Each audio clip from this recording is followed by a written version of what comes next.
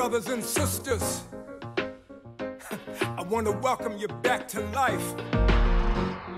Back to the one that can make your next chapter your best chapter. Hello, my name is Reverend Carolyn Jackson, and this is day two of our Daniel fast. Today, our scripture is found in Exodus chapter 20, verse 3, where God says, You will have no other gods before me. This is the first of the Ten Commandments. God said this to Israel because of what he had done for them, how he had brought them out, and he did not want any other gods before him. Today's title is Go to Mount Moriah.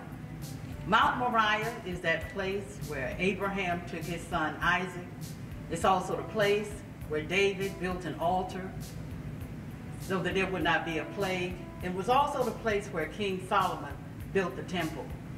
Imagine, if you will, becoming parents at the age of 90 and 100. That's the story of Abraham and Sarah.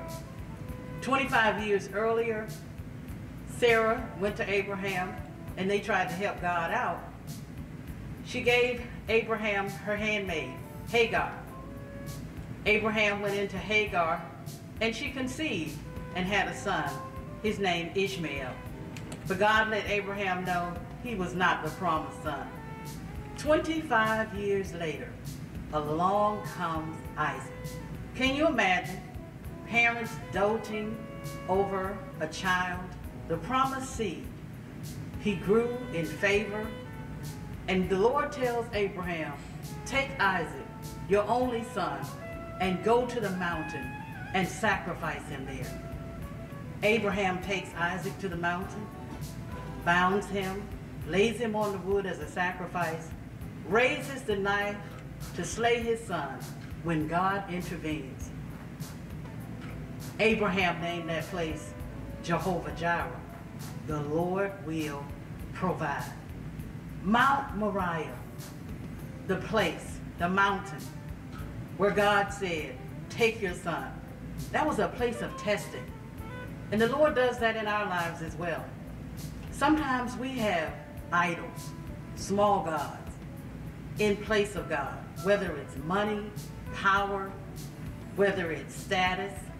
It could be our family, it could be our spouses, it could be our children, it could be our houses, it could be our material possessions. God says he wants no other God before him. So during this fast, this is a time to prioritize Look at your surroundings and ask the Lord, is there something that I have in place of you? Is there something that I feel like is more important to me than you? This is a time to search.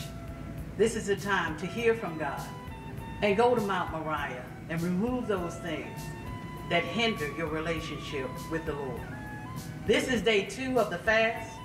For many of you, you are experiencing headaches. Hold on. After day three, the headaches will subside. Continue to drink your water, continue to listen to your worship music, and continue to read, study, and fellowship with the Lord. Remember, go to Mount Moriah.